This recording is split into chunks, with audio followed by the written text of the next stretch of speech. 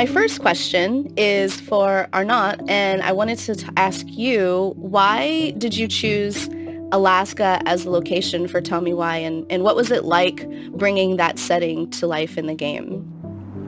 So the first thing for us was to find the perfect place to set this uh, this drama. So uh, we needed to find an isolated location uh, in a beautiful, wide place uh, to create the perfect stage for a human-scale drama. So a little town um, lost uh, in the, the wild. Uh, Alaska was definitely the, the, perfect choice for that. It was very impressive to uh, to feel the nature everywhere because we are lost in cities. We are used to this for a long time, a lifetime sometimes. And it was the first time I felt that uh, everything around me was just pure nature empty of any human uh, presence. So um, it was obvious for us that uh, the environment, Alaska, the landscape, was a character of its own. We've been getting these visions whenever we see or hear something really emotional. So, can you tell me some examples of aspects of the culture that have made it into the game and things that players will see when they play Tell Me Why? One example of the representation of local Tlingit culture in the game is with the significance of gift giving and um, the cultural values of things like respect and reciprocity and balance. And that doesn't have to be in the giving back, but it also is in the acceptance of a gift and making sure that you do have, you know, you're showing respect for the giver and, you know, being a, a gracious um, recipient of that gift. So, Patrick, can you talk to us uh, about the experience you had creating some of the assets for Tell Me Why and using Tlingit art as inspiration and sort of the environments that you, you saw in Alaska?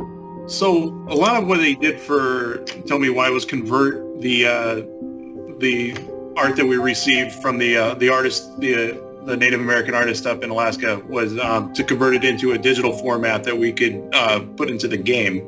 The thing that was most important about that was to keep it as original to the artist's intent as the source material and I didn't want to trace over it. I didn't want to add any of my own flair to it. I wanted to make sure that it was as unvarnished as possible. So like I got to have all these original art pieces brought to me and I was able to like uh, we didn't have access to scanners because of COVID. So I had to get like clever and take pictures of them with uh, my iPhone and then convert them in Photoshop and uh, do all this color separation work. But um, I was able to do it and, and uh, I think the results were amazing.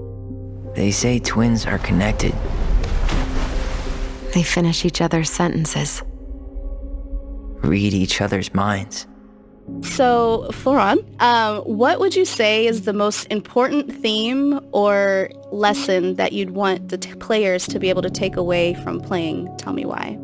There are many important themes in the game, uh, such as family secrets, uh, you know, siblings bond, identity, uh, or trans identity. Um, and I think all of these, these, themes should resonate to, to other players, and I hope they will. Uh, but I think the most important with this story is the, the relationship between Tyler and Alyson. Uh, because we, we are very happy with the story. We believe it's a beautiful story and we, we hope the players will, will find this relationship very positive and inclusive. And I, I think uh, if there is a message to, to take away from uh, from this game, it, I, I, would say it's that it is the message of positivity and inclusivity because that's that's something that really matters, you know, in in life, being kind uh, with one another and and and yeah, uh, to have empathy with with others. So I think that's uh, that's really what what I personally take away, you know, after uh, creating this game. Oh, that's wonderful.